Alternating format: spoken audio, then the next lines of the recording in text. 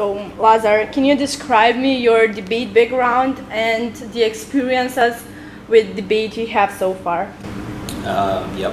Well, I've been uh, I've been to the Global Youth Forum. Uh, this is my seventh time on the Global Youth Forum. Once as a debater, once as a coach, and five times as a trainer. I've been a trainer of the MTT track, and this year and last year, and the year before that, uh, I've been doing CJT, coaches and judges track. So, what does it mean to be the leader of the coaches and coaches and judges uh, track? Uh, technically, the difference is the difference isn't that big. Um, the leaders of the tracks are slightly more responsible about the curriculum of that specific track, uh, and in, in, in, in terms of coordinating all the other trainers in that respective track uh, to, to make the sessions, to make the. Could you describe your methodology when you teach debate to, let's say, high schoolers and the coaches and the trainers? What are the difference between two of them? When we were talking specifically about the Global Youth Forum, uh, for example, the MTT track is really different from the coaches and judges track. Uh, not only in uh, what we cover in that track, but also in the methodology we use. Uh, in the coaches and judges track, we focus a lot on discussions uh, we focus a lot on sharing knowledge uh, from these coaches and trainers and judges uh, from different debate communities. Uh, because a lot of them come from different debating backgrounds, so we are kind of taking advantage of that. Uh, so we are sharing a lot of uh, knowledge and a lot of you know institutional memory from those debate communities. how do you frame the lessons when you're talking about specific issues? Do you add your subjective opinion maybe? Oh yeah, yeah, all of us do. Uh, and that's something we encourage the trainers to do. Um, for example, when we covered the elements of debate, uh, we covered them uh, in the respect of the Karl Popper format, but we also add a lot of subjective subjectiveness in those sessions. Uh, every trainer, we have, because we have a very diversified pool of trainers, so we try to encourage those sessions to be as subjective as possible. Uh, have you encountered any obstacles or difficulties up till now? Let's say, I don't know, institutional, organizational, pedagogical, maybe? Uh, well, specifically, if we're talking about the Global Youth Forum, uh, in my experience, that never happened. Uh, usually, coaches and judges are very eager to contribute in the discussions we're having, uh, and usually it goes really smoothly.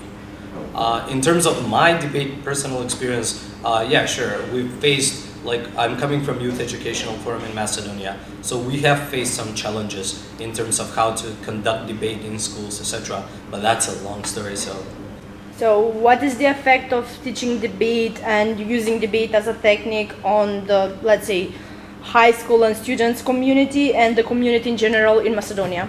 Uh, when we're talking about the Global Youth Forum uh, in the coaches and judges track, for us it is essential that um, we we kind of contribute to the knowledge that these coaches and judges already have. So then they can uh, go back to their debate communities in their own countries and share that specific knowledge. Uh, and I think that's a very valid idea of the coaches and judges track.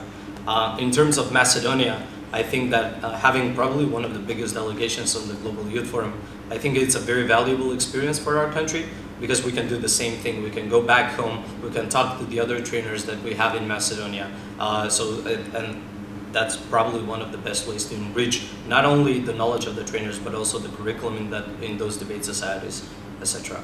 How is debate perceived in Macedonia? Uh, well, well, that's a difficult question to, to answer.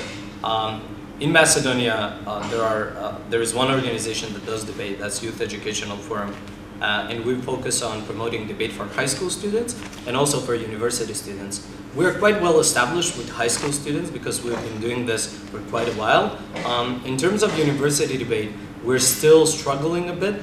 We have cooperation with several uh, universities and a lot of faculties in Macedonia, but we have a we have a lot more to do if we want to be a well-established BP community.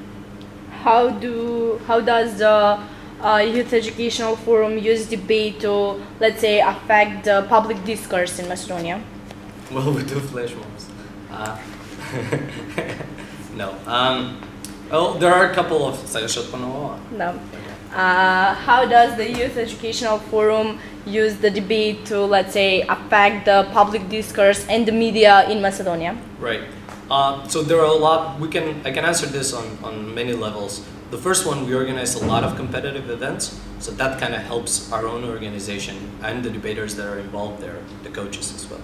Um, but we also do a lot of public events. We do a lot of public debates on issues that are perceived at that moment, at uh, that specific uh, time as uh, contradictory or um, very current events that are happening in Macedonia.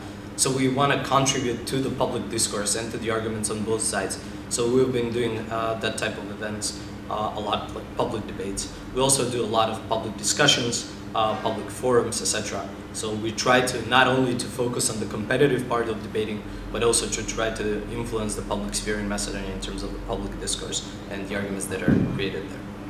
What were your expectations of the this year's forum, and have they been fulfilled up till now? Uh, well, the primary objective of the coaches and judges track is for everyone that is participating in, the, in that specific track uh, to learn something new about debate, to new something learn about an element of a debate, or some new teaching method. Thank you very much. Thank you.